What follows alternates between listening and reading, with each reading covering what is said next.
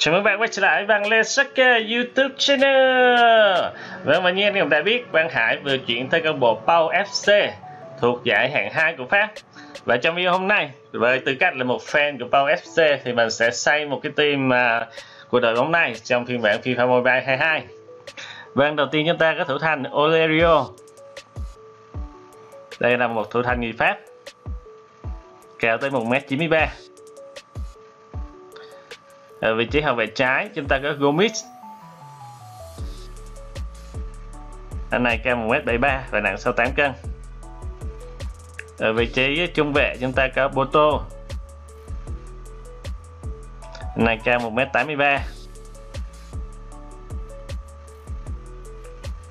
tiếp theo chúng ta có Dembele Dembele này không phải ở vị trí tấn công, mà ở vị trí phòng ngự cầu thủ này cũng có thể hình 1m86 tiếp theo chúng ta có Burry cao 1m84 và nặng 77 cân. Tiếp theo chúng ta có Busna đây là một cầu thủ có tốc độ cao 1m7 và nặng 62 cân. Ở trí tiền vệ phòng ngự, chúng ta có Quentin Dobin. Cao 1m78 và nặng 76 cân. Chúng ta có tiền vệ Denis Vilpoha.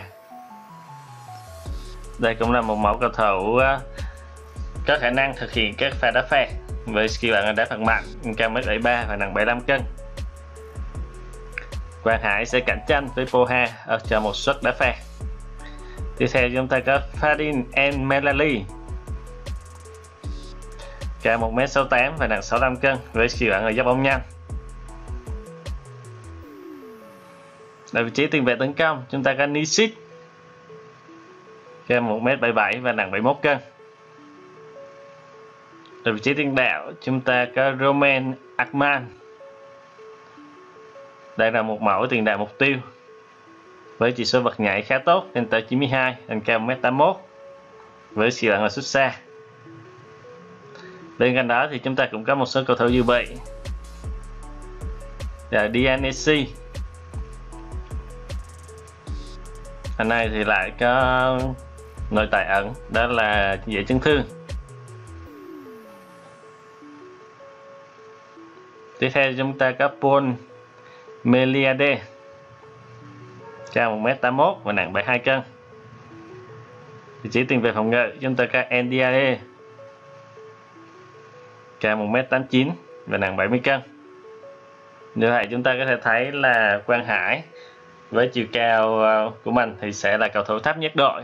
Team của mình sẽ là team Pau SC còn đội bạn sẽ là team Nando. Zira với một cái logo Tottenham. Trận đấu này thì Pau SC sẽ thi đấu trên sân khách.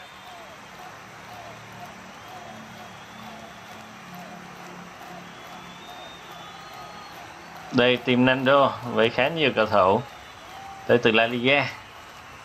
Còn đây là team Pau FC mình vừa giới thiệu cho anh em. Ở trận đấu này thì Pau SC sẽ mặc à, một quần bộ quần áo màu đen tím còn Tottenham sẽ ra sân với bộ trang phục truyền thống. Áo trắng quần à, xanh đen. Hazard Lewandowski. Không thành công. Nisit. Akman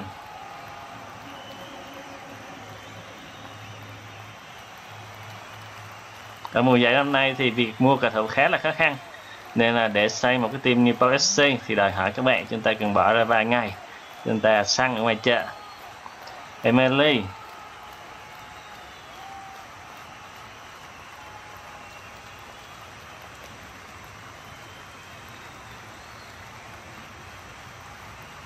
Nisic dứt điểm, không vào. Và bóng đi chết cô.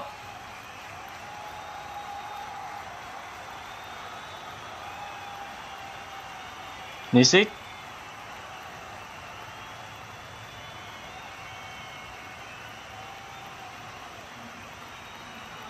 Besna lật cánh, đánh đâu? Không thành công. Benzema Wendosi Benzema và chuyền bóng phối hợp với Lewandowski không thành công. Emily Ackman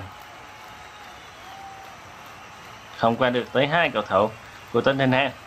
Tuy nhiên, vẫn là cầu thủ đội Paul SC kiểm soát bóng. Dublin Bechan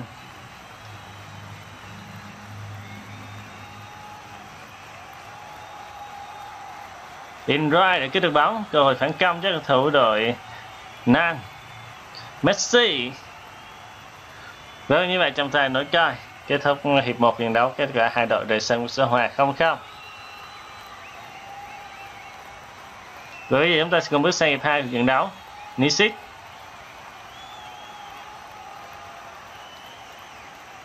Bosna Akman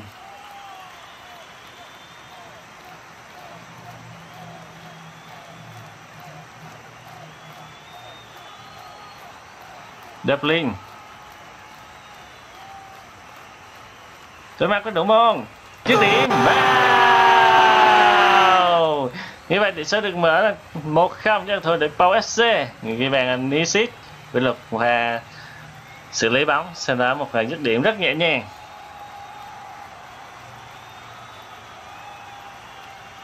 Gần bây giờ chắc chắn các thủ đội Nando sẽ phải bung sức lên tấn công. Nếu họ muốn có điểm trong trận đấu ngày hôm nay. Calepion, Lewandowski, Ramos,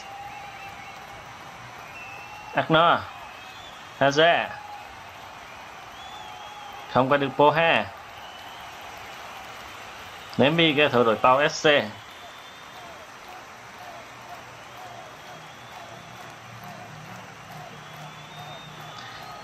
Đội Pau SC chuẩn bị có sự thay đổi người. Hiện Nisit sẽ được rút ra và thay bằng DNC để tăng khả năng phòng ngự. Khi mà đội bóng đang dẫn trước. Lewandowski, Benzema. Lewandowski.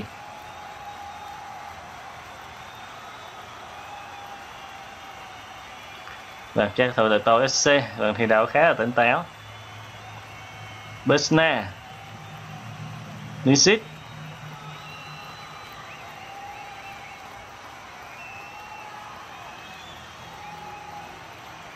Besna vẫn là Besna tỷ lệ rất tốt. Dứt điểm. Không thành công dứt điểm tới đây. Không được. Tuy nhiên, vẫn thủ đội Pau SC không qua được Agner. Wendozi đây là một trong những pha phản công cuối cùng của trận đấu này. Messi không thành công đó và như vậy, trận đấu đã kết thúc. Tỷ số là 1-0 nhìn về thủ đội Pau SC Vâng và xin được cảm ơn anh em quan tâm theo dõi. Xin chào. Hẹn lại anh em